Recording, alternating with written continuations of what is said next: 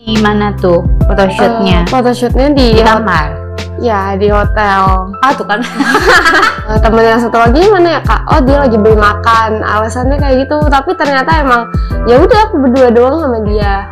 Terus dia tanyain apaan mau nggak? Ya siapa sih kak yang orang nggak kepengen kalau diiming-imingin?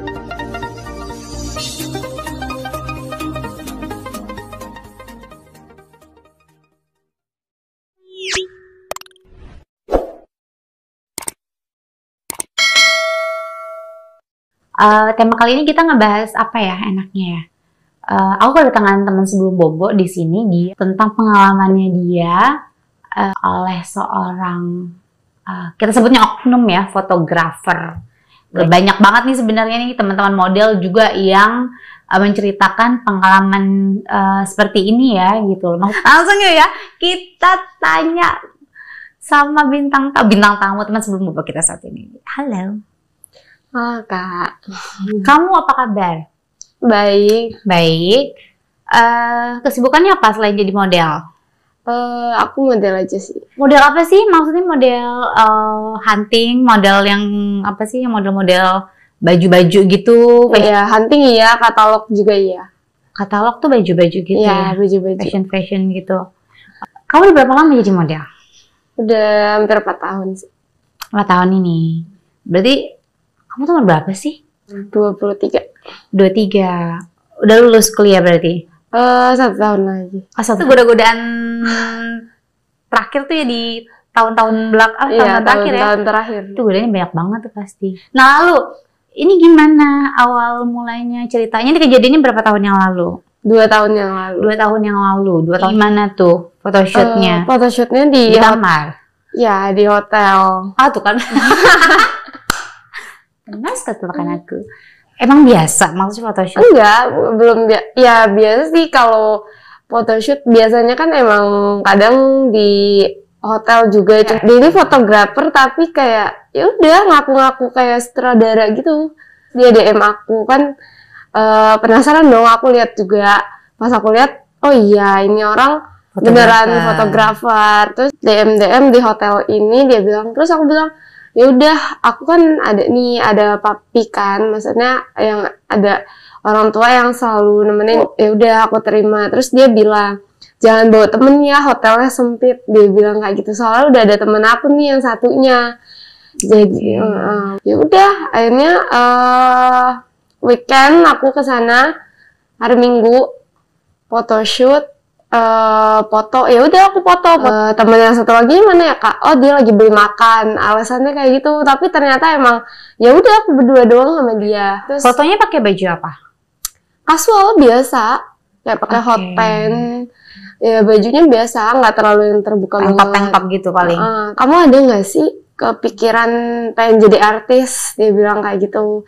Dia pakai name tag juga name terus dia tanyain apaan mau nggak? Ya siapa sih kak yang orang nggak kepengen kalau diiming-imingin jadi jadi artis. jadi artis?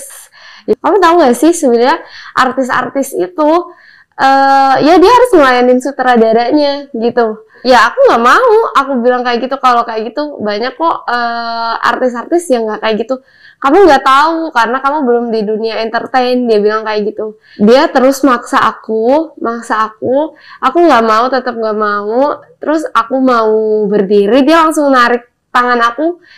Terus aku langsung di ituin ke kas- eh, di Dijorokin ke kasur. dijorokin ke kasur.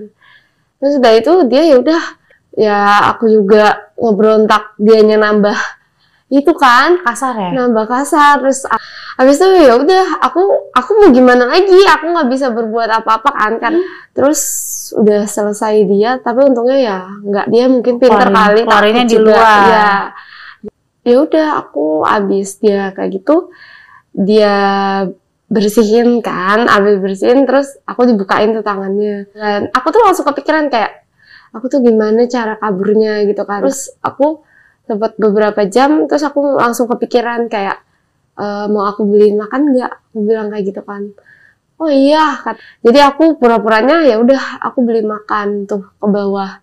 Terus aku beli makan udah aku kabur naik grab. Makanya aku kayak langsung berpikir daripada aku memberontak mendingan aku langsung kayak ya udah aku baikin dia. Tapi untung dia nggak curiga sama aku kalau dia curiga mungkin ya dia ikut. Tapi dia nggak curiga. Oh. Habis itu dia kayak nel, uh, nelponin aku. Tapi lewat Instagram. Dia nggak ngasih nomor WA-nya ke aku.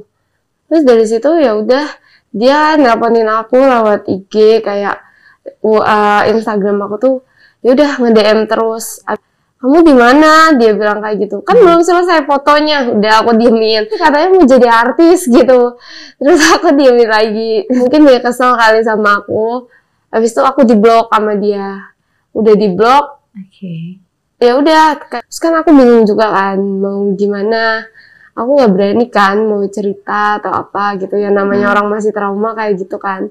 Aku kira itu aku bakal dibayar foto aku. Dan fotonya pun nggak dikasih ke aku. Jadi fotonya ya udah dibiarin aja kali sama dia. Aku udah pasrah dari situ. Udah nggak tahu lagi udah harus gimana kan.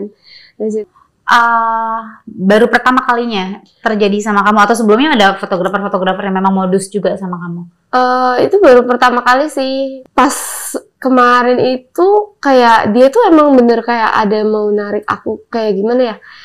Bener-bener pengen gitu. Emang maksudnya di luar sana, aku nggak ngajak bikin fotografer sih ya. Maksudnya ada beberapa hmm. fotografer yang memang uh, ya kita sebutnya oknum ya, yeah. maksudnya melakukan hal itu gitu loh. Terus ada yang kayak foto-foto nude-nude gitu-gitu kan, yang tupis. Ya, kalau emang modelnya mau, emang udah biasa, udah udah jadi model profesional gitu. Jadi aku juga, ya aku kaget aja sih itu baru pertama kali kan, baru pertama kali. Terus dia kayak gitu sama aku. dia karena pakai name tag, terus emang Instagramnya penuh foto-foto kayak yang ya foto model fotonya dia ya yakin gitu kalau dia emang sutradara sama itu uh, dari awal pertama kali dia DM kamu DM-nya tuh gimana uh, dia kalau nggak salah malam dia nge-DM aku hai malam gitu hmm. ya aku cuma jawab ya doang kan terus dia bilang kenalin aku ini gitu. Aku mau ngajakin kamu foto nih, kamu biasa model kan? Aku lihat-lihat dari uh, fit kamu. Uh, aku bilang buat model apa ya kak? Aku kan sebelum itu aku, pasti aku tanya dong. Kasual biasa dia bilang kayak gitu kan. Dia bilang fee-nya ntar aku kasih sejuta setengah ya. Dia bilang kayak gitu. Cash. Cuman cash dia bilang. Eh enggak, di transfer. Oh transfer. Uh, uh, Oke okay, boleh. Kamu nggak minta DP sama dia? DP enggak. dulu deh Kak, Mas, Bang. Enggak, salahnya aku di situ sih. Uh, ya udah nanti tempatnya di sini ya, gitu di hotel ini. Terus aku sampai mikir sempat itu, terus aku tanyain papi aku, terus jangan, karena nggak kena, karena papi aku tuh banyak banget kenalan fotografer. Anehnya aku tuh nekat gitu loh. Ya udahlah, orang butuh uang juga. Namun di jalan juga dia nanyain, kayak tek apa ya? Dia tuh ini banget sama aku kayak, ya udah kamu lagi di mana gitu. Aku bilang ini orang perhatian banget menurut aku kan. Kok ya, perhatian banget ya, cewek-cewek kan dikasih perhatian kita aja langsung melting iya, langsung. udah di mana itu? Nelponin kayak udah sampai ya udah aku dijemput bener-bener dijemput di lobby kan. Udah awalnya itu emang biasa foto-foto biasa doang. Tapi pakai saksi nggak sih waktu itu? Pakai hot pen. Ibu sih nggak yang yang nggak yang tupis yang gitu-gitu kan? Nggak yang terbuka terbuka banget gitu enggak kan Berarti pecah perawan lo di situ. Iya. Kalau aku pasrah aja aku diem, jadinya dia ya udah. Tapi tetap dia masih ini kayak emang gituin aku terus. Mainnya lama nggak? Lumayan. Itu? Lumayan tuh berapa? Berapa? 10 menit ada? 10 menit ada, 10 menit lebihan. Uh, eh, 12 menit apa? Ya, ya nyesel sih pasti ada kan. Nyesel ada tapi ya udahlah namanya pengalaman. Sangat disayangkan ya maksudnya hal itu terjadi gitu loh. Tapi ya ya sudah mau gimana lagi nggak apa-apa buat pelajaran buat pengalaman hmm. kamu juga.